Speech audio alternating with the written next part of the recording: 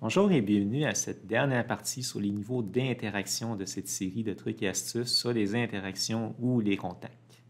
Alors, il existe trois niveaux d'interaction. Le niveau global, le niveau entre composants, ainsi que le niveau local.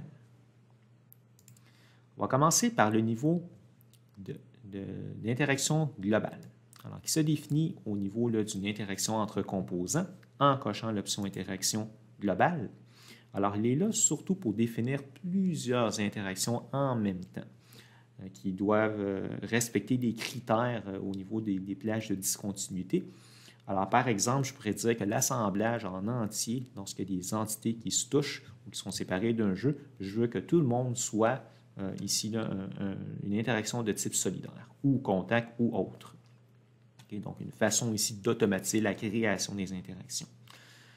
Si on décoche l'option interaction globale, c'est qu'on va avoir la liberté de choisir les pièces entre lesquelles on veut lancer ici là, une, création d'interaction. Euh, l'interaction des niveaux global ou entre composants sont plutôt d'ordre général.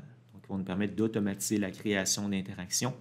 Alors que pour l'interaction de niveau local, quoi qu'elle permet quand même de définir des interactions euh, donc automatiquement grâce à une recherche.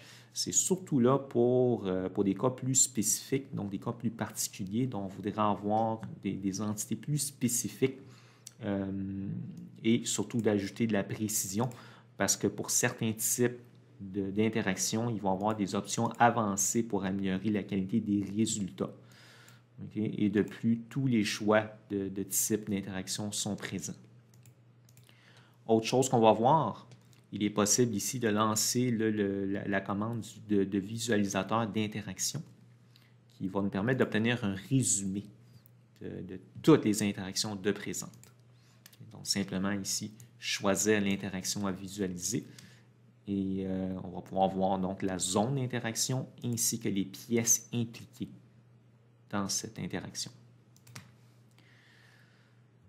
Euh, je termine sur euh, ici un article à partager. Donc, euh, simplement faire une recherche de, du terme liaison solidaire. Et ici, là, ça, ça nous donne là, des, exemples, des, des, cas spécifiques dont une liaison, donc une, interaction solidaire automatique pourra être prise en charge grâce à une interaction globale ou une interaction entre composants. Ceci met donc fin à notre série des trucs et astuces sur les, interactions ou les contacts, soit cette dernière partie sur les niveaux d'interaction. Je vous dis donc merci et soyez des nôtres pour nos prochaines séries. À la prochaine.